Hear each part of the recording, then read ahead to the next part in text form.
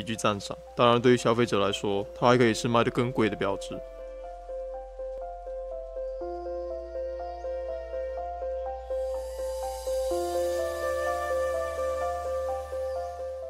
嗨，大家好！最近一周仿佛过了一个四季，突然的降温，突然的升温，不愧是广东，就差一首。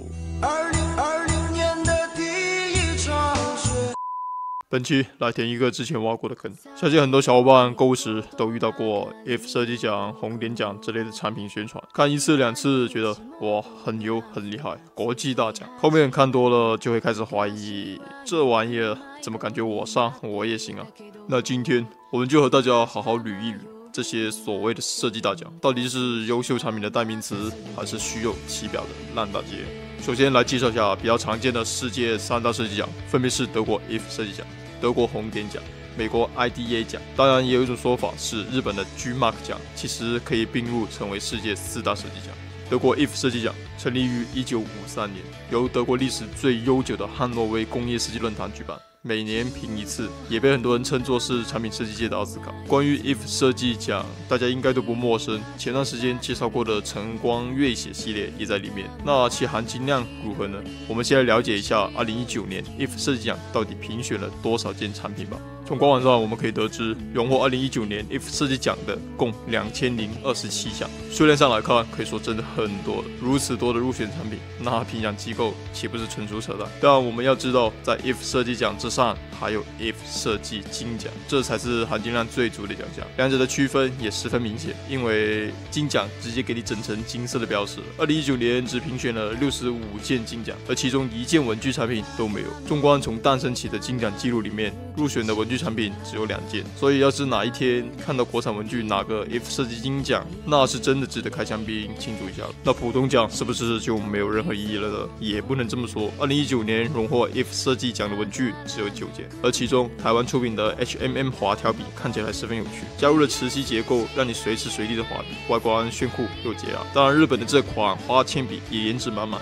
我指的是它削出来的铅笔屑。而其他还是有蛮多我们熟悉的产品，比如 CACO 的 Ruma 尺子，得力。的省力订书机、晨光以及拉米。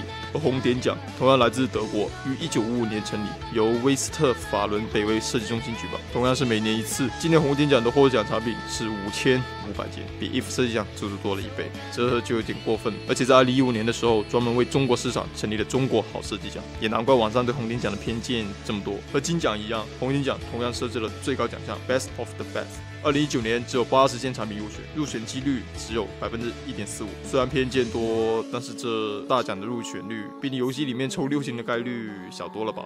很巧的是，二零一九年的红点最佳设计奖里，居然有一款来自日本 Felismo 的五百色彩色铅笔入选了。突然间有种欣慰的感觉，是怎么回事？有一说一，谁买了这套五百色彩色套装，你就是我一辈子的好兄弟。而荣获二零一九年普通红点奖的文具产品也只有九件，Kako 和晨光又又又又双双入选，但是晨。光入选的产品是这套国粹书签，我觉得这奖评的没问题。里面让我觉得比较有意思的，应该是这套尺子。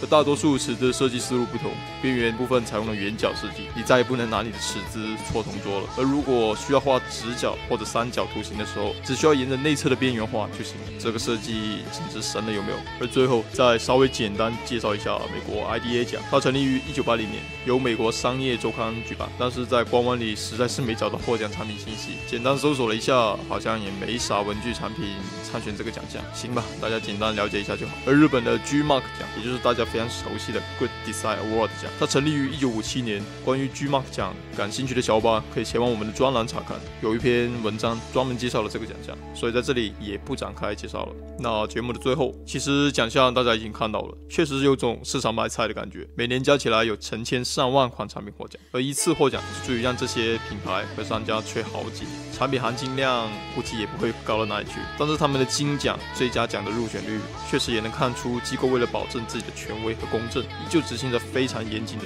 评选标准。而往往入选了这些的产品，才是真正实打实有设计的产品。相信我在查找这些奖项产品的时候，真的是寻宝过程。能看到原来世界上还有这么多奇奇怪怪的产品，它们形态各异，充满了天马行空。但是在兴奋之余，我又回到了一开始的思考：产品获奖到底能证明什么呢？它更多的只是一张奖状。一张证明，一份自信，它可以是你购物的一项对比指标，但绝对不是你必须购买它的理由。只有本身质量够硬，才能站得更稳。购物如此。做人亦如此。好了，这就是本期节目的全部内容。如果觉得对你有帮助的话，不妨点个三连支持一下。爱生活爱分享，我是社长，我们下期再见。